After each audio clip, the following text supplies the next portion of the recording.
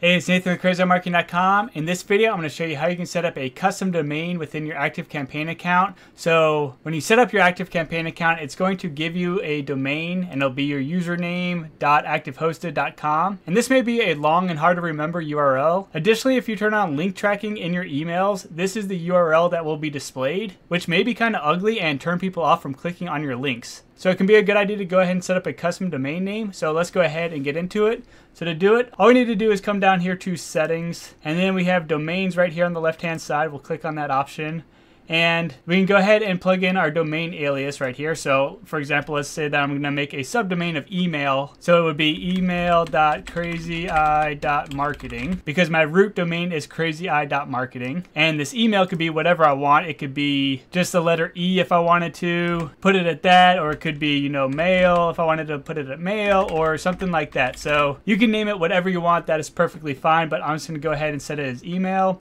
And then we have some instructions down here. And basically what it's telling us to do is create a CNAME record. So we need to update our DNS settings. And we need to go ahead and add this value for the CNAME setting. So I'm to go ahead and copy this right here and come over to where my DNS settings are. Now I'm in SiteGround, but the concept remains the same. You want to get to where you have DNS zone or DNS settings or something like that.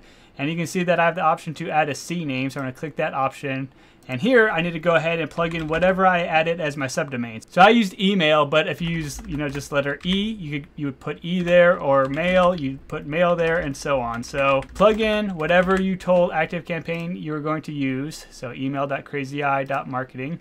So it's just email. And then resolves to, that's where I'm going to go ahead and plug in that value that ActiveCampaign provided to me. And I'm going to go ahead and leave that period on the end there. That is correct and I'll go ahead and click on create. And then I'll come back to ActiveCampaign and I'll click on save settings and there is a note that it may take several hours or longer for your DNS settings to go live. And usually it takes a few minutes, but I have had it take upwards of a day in order for everything to go through. But let me try and go to email.crazyeyemarketing.com and let's see what happens. So nothing's showing up quite yet, but I'll try again in a few minutes and we'll see if it's working. Alrighty, so it took about 30 minutes, but it is working now. You can see in my address bar, we have email.crazyeye.marketing and I could go ahead and log in using my regular login information. So let me go ahead and do that real quick. And and I'll click login. And there we go. Everything seems to be working. So now I can access my ActiveCampaign account by going through this URL instead of going through my crazy looking .activehosted URL so that may make it easier to remember and how to log in. That said your username will still be the same thing. So it would still be crazy eye marketing 22162 so you still need to remember your account name but in order to access your account you could just go to your